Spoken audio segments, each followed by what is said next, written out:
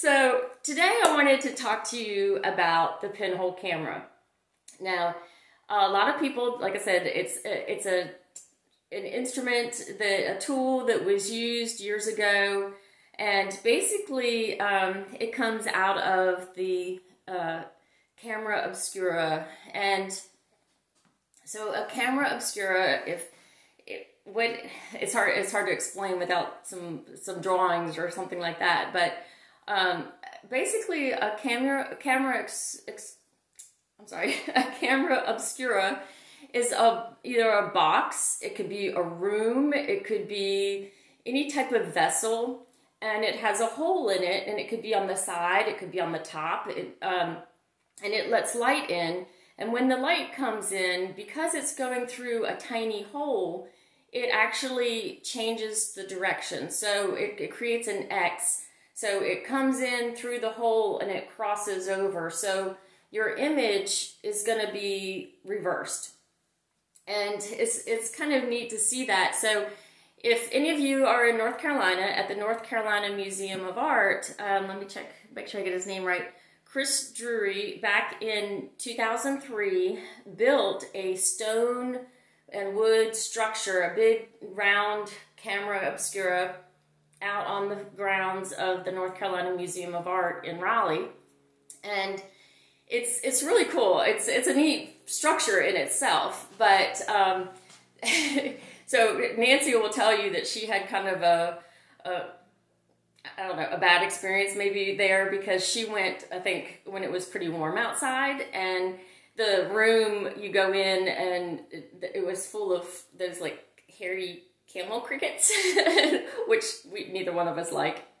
Anyway, so I would suggest that if you're going to go to the go to the North Carolina Museum of Art and see the camera obscura, that you would um, go during the winter time so you don't have to deal with with those little crickets. But anyways, so yeah, but but a, a pinhole camera can be uh, like I said, it can be like this one. It was a big room. It's a big stone building or structure, of like a hut and it has a hole in the top. And then you can have a wooden box with a hole. You could have any other type of vessel with a small hole in it.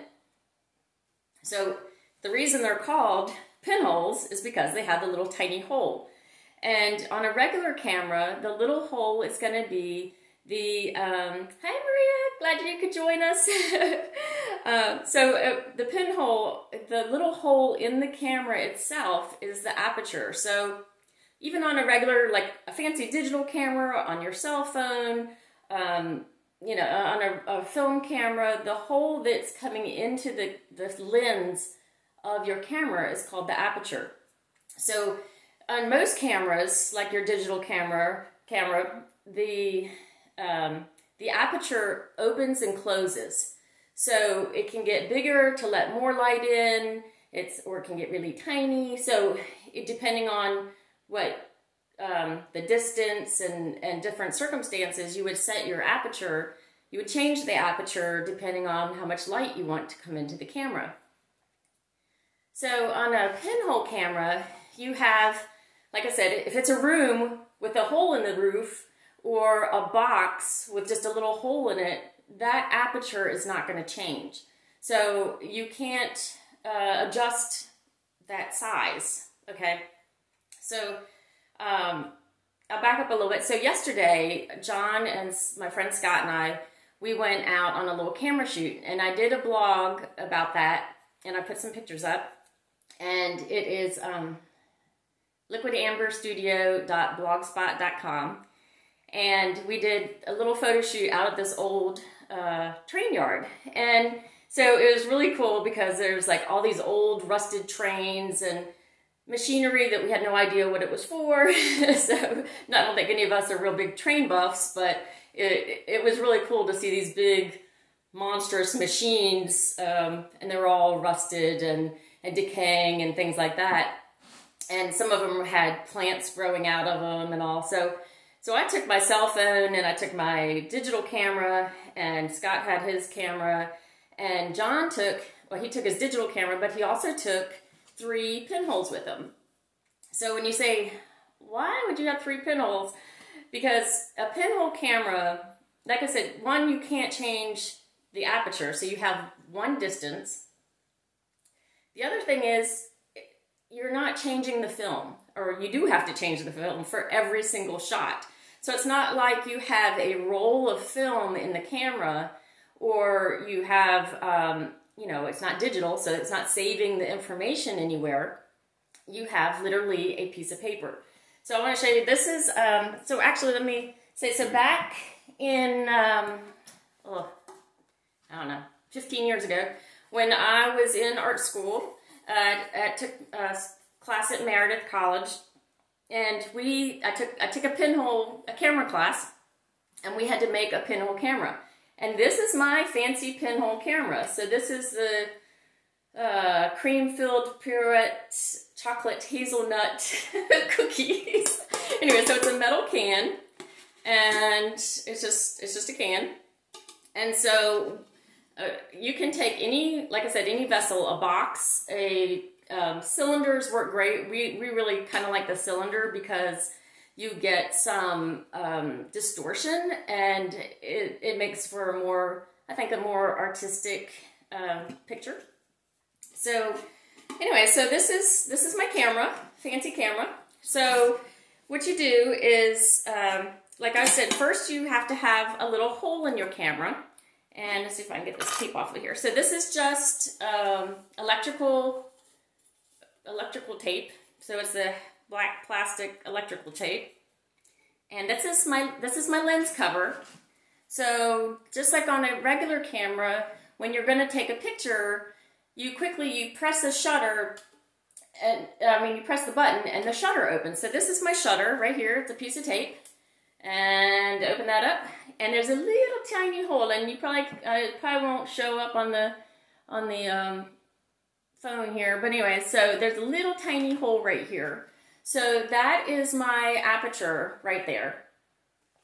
And so, so what happens is you got to put a piece of paper in there. So you would put your, say this is a blank piece of paper that has a photo emulsion on it. So it is a photographic paper that you would like develop your pictures on. And you have to do this in the dark room. So this has to be, it, you can have a safe light, but um, it you can't have any regular light, obviously, because it would ruin the, uh, oh good, you can see it. Yeah, sometimes this, this thing, you don't, you don't know what's in focus or not, but so if this was a blank piece of photographic paper, you would put this in here. Do this. So you put this in here and so the reason I said about the curved and it, you get distortion is because your your paper is curling around. And like I said, that kind of just adds to the, you know, to the image. So we like to do, you know, experimental, obviously this is experimental. So we like to do experimental um, photography and or, or alternative photography. So you have this curved piece of paper and you put that in there this one's a little too big for this. Uh, this one wasn't cut for this uh, this camera. Anyway, see, but you could see, like, this would go in here, and then you would put the top on, and that would all be done in the dark room. And as you notice, let's take that one out. So as you notice, um, so I have duct, I mean, the electrical tape along the seams, and um, there was some little, I don't know what happened there, but so I put put it along the seams to so no light could get in. And then the inside was spray painted black, just with the flat black spray paint. And so you, it has to be um, light tight. You can't have any light seeping in there. You want all the light to come in through that hole when you open up that piece of tape, when you open up your shutter.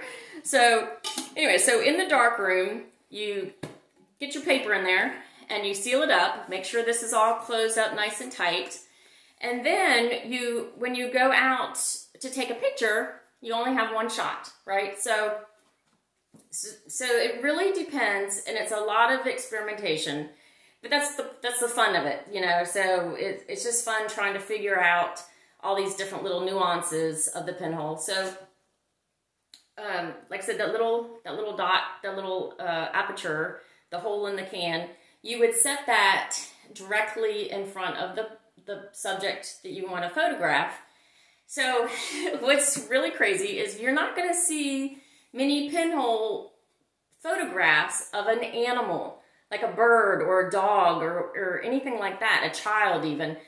Anybody that's going to move or anything that's going to move. So even people you typically don't see because you have to hold the pose for um, as long as your exposure time.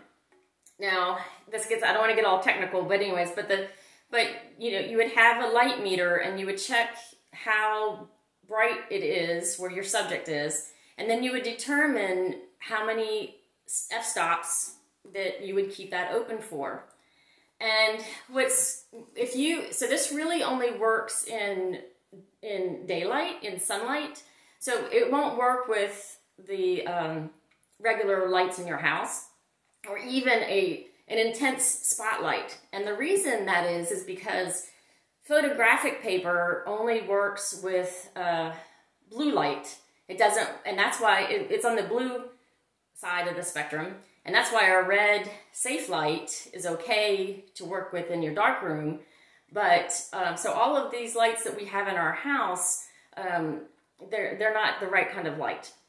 So you can try a blue spectrum light, but it your exposure time is going to be really long. So we were experimenting and we did an exposure uh, inside with spotlights.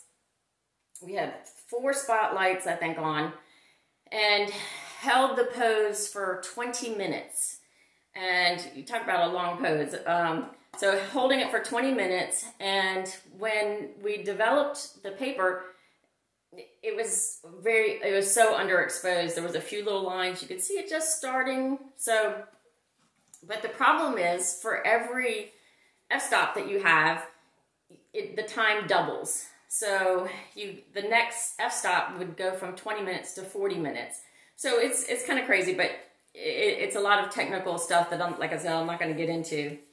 But so one thing that I want to say is that um, we use photographic paper in these. Like I said, it's the same paper that you would, um, you know, print a photograph on in your darkroom. And uh, this wasn't a good one here, but so you can use um, film. So some of the pinhole cameras that they have out um, or I mean, or you can make um, use uh, photographic film, just like regular film from your camera.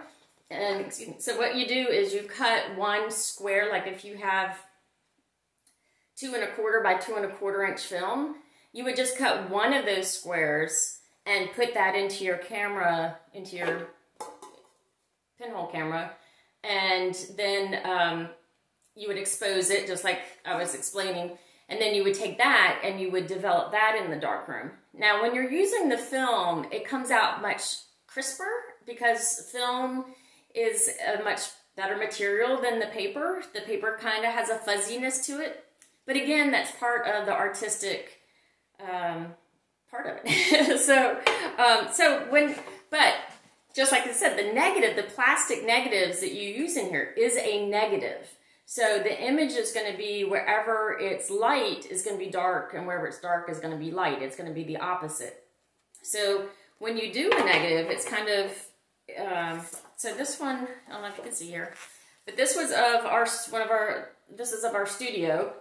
And so wherever it's dark, so the steps, this was in bright sunlight. So the steps were actually a really light color. And then um, you can see the sky looks black. So the that was actually you know is in the middle of the day, so that would be really light. So it's this is the negative. This was what was in the pinhole when we took the picture, and then you you have to take this out and you develop it just like you would develop a picture. So you have to go through the whole process of hey Jamie, you have to um, go through the whole process of developing the paper so to get your negative. And there's about four different ways that you can go from the negative to a positive. And one is what's called a contact print. And basically, you would just be sticking this down on a piece of photographic paper. You you know, just stick it down there, put a piece of glass, put the light through it, and when it shines through, it's creating the opposite. So so you're going from a negative to a positive. So that again, you're going from a little bit fuzzy to a little bit fuzzier. so um, it's not it's not such an um, if people want like a super crisp uh, photograph, that's not going to happen. Not with pinholes. So this is, like I said, again, I, I, keep stressing the fact that this is a very artistic expression of photography. It's not just pointing and shooting with your digital camera, which I love. I, you know, so I mean, I, I I'm not knocking digital cameras at all, but um, this is just a different way to express yourself. So, but so this was, again, I'm going to show you that again. So this is the, the negative that we did of the little, of the studio. And so the black is white and the white is black. So that's negative. And then this one is the positive. So we created, then did the contact print and did a positive. So you can see now that the steps are now white, the sky is now white, and then the trees are black. So again, it created the positive of that image. So it's um, it's it's pretty neat. But again, I'm going to show. I don't know if you can see it so well in this one, but um, I don't know if it's better on the negative or the positive. But I'll show you this negative. So it really bows because remember I said in the can in our camera here that it the paper's curved. So when the image is being brought in through the aperture and flipping upside down, you're getting all this distortion and curvature. So, so you have to keep that in mind that things are not going to be straight. You're going to have this bowing effect on each side. So that's one, that's a, a, a still object. Obviously, buildings and you know things like that are great to take pictures of, particularly when you're starting because they're not going to move. You know, you don't have any movement. Now, the trees will be a little fuzzy because they're sitting there and, you know, flowing in the wind. So even like if you're going to try to do a flower or something like that, you have to remember that it's it's going to be sitting there moving slightly out in the breeze and it's going to come out really fuzzy. So something stationary is what you need. Um, so here's one. So John always works with the figure. He doesn't he doesn't like buildings and so much as like he, he doesn't like inanimate objects. so he he all his photography is mostly with the figure. So he really stresses of having uh, he, he's not so much into portraits. He doesn't really care about a portrait. It's not who the person is. It's just using the body in a in a photograph. So it could be their back. It could be you know their face is hidden. It's just another element in the surroundings. So this was a test. This is um, back when we first kind of uh, were playing around outside with these. But so this is this is me because I'm the only other person here. so um, so this is me, and as you can see, this is the negative, and this is so where it's white is going to be black, and where it's black is going to be white.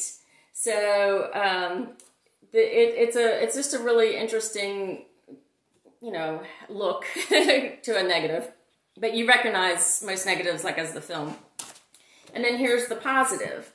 So um, i was wearing a black and white dress. High contrast is really important with uh, with pinholes because you need it's mostly just black and white you don't get a you do get some grays like my arm and my hair or whatever you get you get some gray but High contrast is really important because it's already distorted and so those black and white make for nice sharp colors.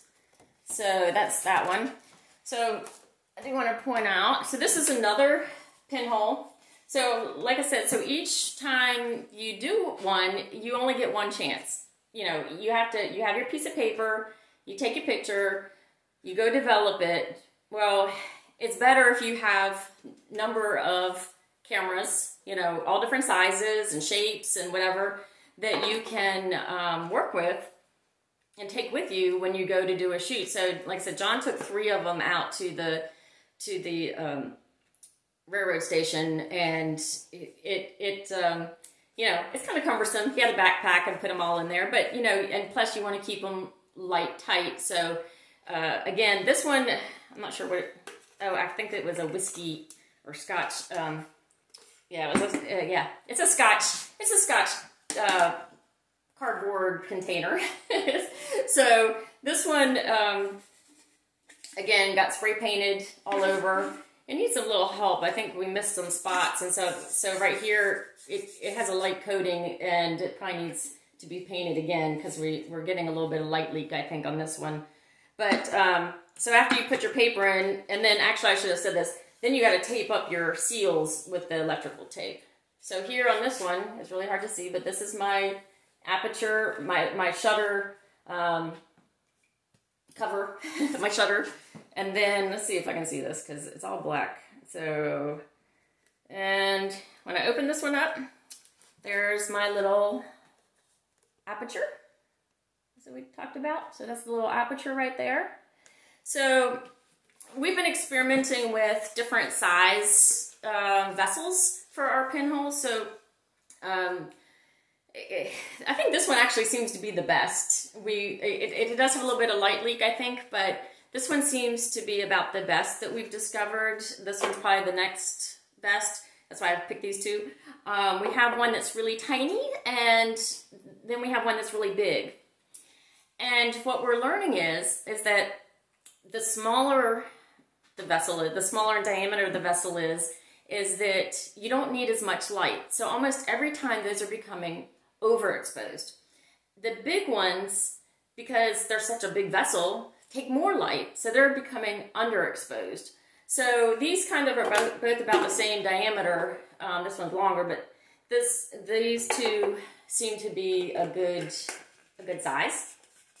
So, um, but again, it's also depends on how close you are to your subject, how much, if it's sunny, if it's cloudy, uh, etc. So anyway, so th that's kind of uh, um, the general idea behind a pinhole.